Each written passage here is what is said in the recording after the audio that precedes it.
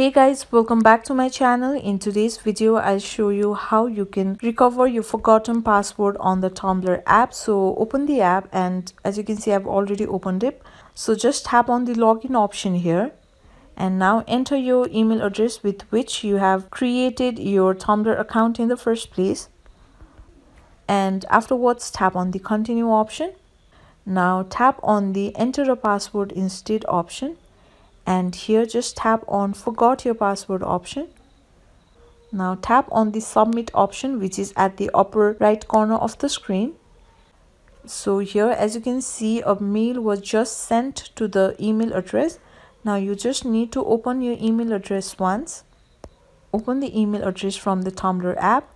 And here just tap on the reset password option. Now here tap on the new password now just type your new password and again confirm your new password by typing the same password in the third box. And then afterwards tap on set new password option.